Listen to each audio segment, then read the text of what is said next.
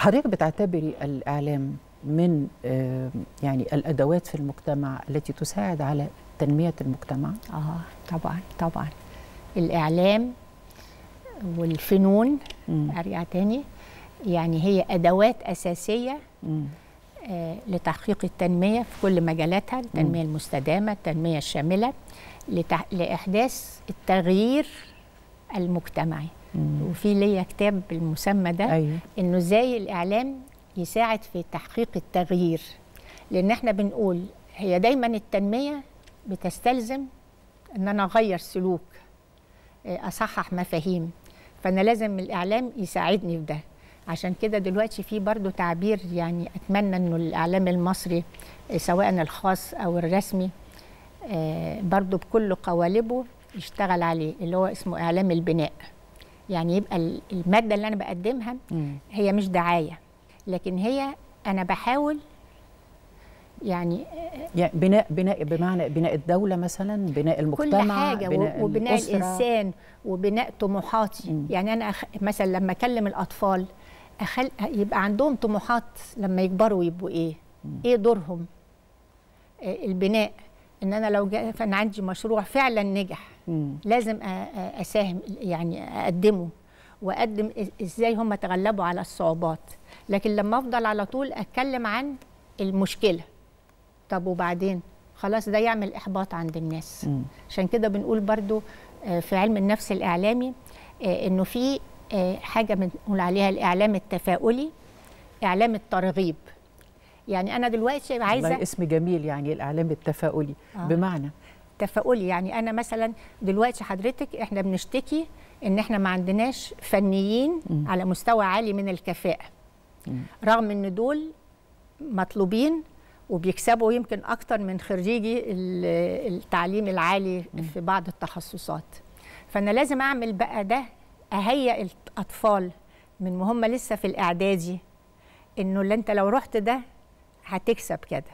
لو رحت ده هتلاقي عقد عمل وانت لسه طالب في أيوة، مش عارفة إيه أيوة. لو انت رحت ده آه، فرص العمل ليك مش بس في في بلدك ولا لا ده انت مطلوب في مش عارفة دول إيه فده الإعلام التفاؤلي الإعلام اللي بيحقق. التفاؤل آه، والمستقبل. آه، إعلام المستقبل مش بقى الإعلام التشاؤمي مم. أو إعلام التهديد أيوه آه. يعني أنا برضو عايزة آم، يعني أنتهز هذه الفرصة وأكلم حضرتك عن الذكاء الاصطناعي ماذا سيفعل في مجال الإعلام؟ آه، هو طبعا إحنا بالنسبة لنا في برضو يعني حديث نسبيا في التطبيقات واستخدامه لكن هو طبعا في دول أوروبية وفي أمريكا مم. آه، يعني له إنجازات وفي شغل جامد يعني آه، لكن عايزه أقول إنه سيظل آه، تطبيق الذكاء الاصطناعي ببرامجه المختلفة مرتبط بإسهامات الذكاء البشري. يعني حضرتك اللي هت- الذكاء البشري هو الذي صنع الذكاء الاصطناعي. آه حضرتك اللي هتحددي هل هو هيحل مكانك آه. ولا هو هيساعدك. هو معين هو هيضيف. يعني زي مثلا لما حضرتك آه، آه، ظهرت البرامج التعليمية في التلفزيون وقبليها ظهرت السينما التعليمية. مم. فقالوا يا ترى ده هيلغي المدرس؟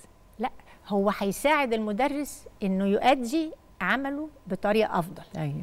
بس في جزئية ما يقدرش يحل محله ال- الفرد. وعشان كده بنقول إنه ال- الشخص اللي هينفتح على المستحدثات الجديدة ويعرف كيفية توظيفها. أيوه. يعني أنت اللي هتحددي. هتوظفيها لمصلحتك ولا لغير مصلحتك. طب سؤال أخير لدكتورة منى الحديدي. يعني كيف ترى آه، دكتورة منى مستقبل الإعلام في العالم ومستقبله في مصر؟ أعتقد إن دوره بيتعاظم مم. وبيتعاظم مش بس عند ال- القاعدة الجماهيرية لكن بيتعاظم عند آه، القيادات. السياسية والفكرية مم. آه، دوره بيتعاظم حتى في الحروب دلوقتي بنشوف الإعلام دوره صحيح. آه، سلاح في الحروب بنقول دلوقتي حرب الكلمة مم. وحرب الصورة وبنشوف ده في الأحداث الأخيرة آه، الإعلام أصبح شريك في الإدارة وفي تحقيق آه، أعلى آه، كفاءات الإدارة ويمكن أختم بأنه حتى سيادة الرئيس في لقاءاته الأخيرة كان بيتحدث إلى الوزراء أيوة. والمسؤولين يقول لهم كلموا الناس كلموا أيوة. الناس يعني إيه يعني تواصلوا مع الناس مم.